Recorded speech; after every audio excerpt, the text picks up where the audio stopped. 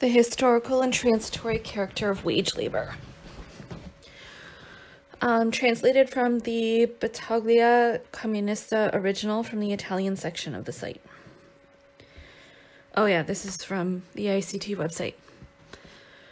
Why are we dedicating an article solely to wage labor? We do so because the capitalist system in its entirety relies upon it because its existence is a presupposed and necessary condition for capitalism's operational functioning and its continuous reproduction. Just how important is this operation and reproduction in the light of the facts for the real development of society as a whole, and not just for itself? We leave it to, to you to judge.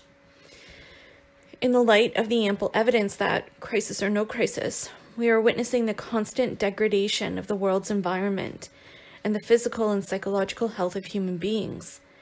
The waste and meth meth methodical destruction of resources, lives, health, lives, health, and environment. It is more than obvious that capitalism has to be recognized as a historically progressive form when compared to any previous system of production and social organization. The question is, however, of a very different nature, one which we will try to answer painstakingly. Does capitalism still retain this progressive capability, or did it, did it exhaust its progressive dynamism some time ago, thereby denying humanity a single step forward in its concrete, real, and overall development? And therefore, is it possible, as we believe, that a different social organization can overcome this impasse? Through further development. And in any case, what is meant by development? What are its new criteria? And what are the current features to be totally abolished? We believe that paid work is the first of these. For those content to remain submerged in the blissful and fascinating world of commodities, the most sophisticated, trendy, and cutting edge technology that capitalism is certainly capable of churning out but who remain absolutely indifferent to the social cost that we have to pay to use it. Let's bear in mind that the progress achieved depends on the capacity and technology we have today.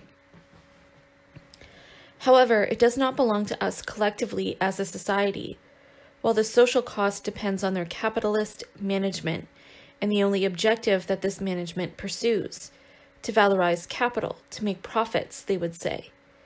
They don't aim to satisfy needs except in a fictional or partial manner subsidiary to their primary objective, via the only means through which capitalism knows to make a profit by selling commodities.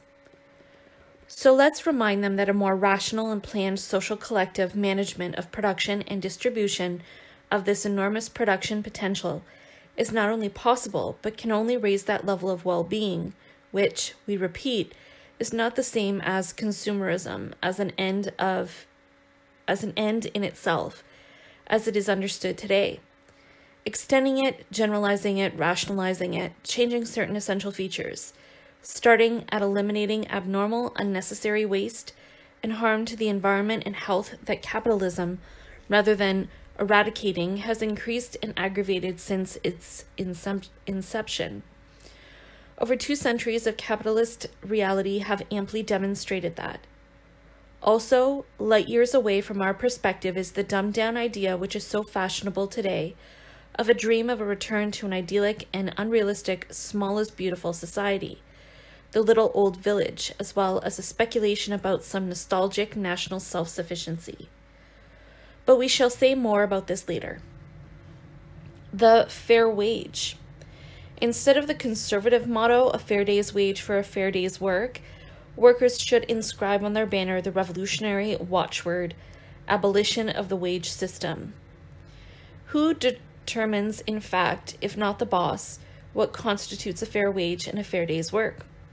Both Marx and Engels, in their works of popular character, simply explain very clearly that capitalism maintains and will always maintain its domination over the workers as long as it is able to convince them that the organization of labor based on the wage labor system cannot be changed. Or, in other words, it would be the only possible, practically feasible natural organization. The slogans of fair wages, better organization of work, the fight against monopolies, planning of production under capitalism, and so on are an expression of this deception, and Marx and Engels always fought and denounced them as acceptable only for very short periods, i.e., as in the immediate demands of economic struggle, but that they should never tarnish the basic slogan of the modern proletariat down with wage labor. A particular organization of production and reproduction of society is a historical phenomenon, and therefore not at all natural or inevitable or immutable. In fact, every ruling class has a vested interest to have it believed to maintain the own the own status quo of their dominion. So it was for the ancient Roman nobility vis-a-vis slave labor. So it was for the feudal aristocracy with respect to the work of the serf. So it is for the bourgeoisie with respect to wage labor. The historic nature of modes of social production is shown by the whole of historical development, since the appearance of the division of society into classes and their changing forms.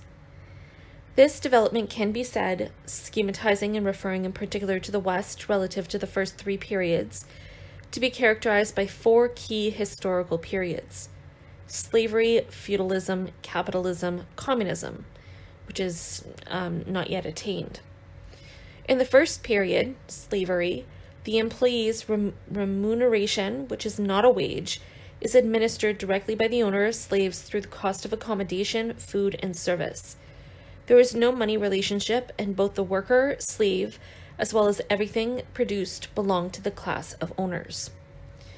In the second period, feudalism, the serf partially appropriated the product of his work, while a substantial part went to the lords lay, or clergy in the form of forced labor, free workdays, tributes of a various nature, and to the church, the tithe, i.e., one tenth of the harvest. In the third period, capitalism, the workers, once dispossessed of the means of production previously at their disposal, land use, possession of tools, etc., are therefore forced to sell their working time, working day, for monetary compensation, salary. All the product of social labor ends up in the warehouses and shops of the propertied class, capitalists, from which the employee takes precisely the quantities represented by the above mentioned salaries, i.e., corresponding to their so called purchasing power. In the fourth period, communism, after a much needed transition, the manufacturing process, the stores and shops are administered by the producers themselves, the workers which determine the mode of production, what it, what it is necessary to produce and in what quantity, and distribution, to each according to his needs. This phase, in which the abolition of wage labor of commodities in general is associated with a very high level of productive forces, i.e., science, technology, etc., which are no longer subservient to the rule of capital and therefore qualitatively different from those of the previous era.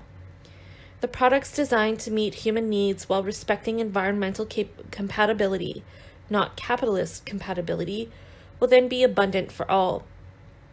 Although their use will have nothing to do with the dull and obsessive consumerism that capital imposes, if we have the money to consume. In addition, work changes its character from forced to voluntary. According to Marx, it is the free manifestation of one's own individuality. Already today, in capitalist society, some socialist forms have penetrated and become the current way of life. Here are some examples.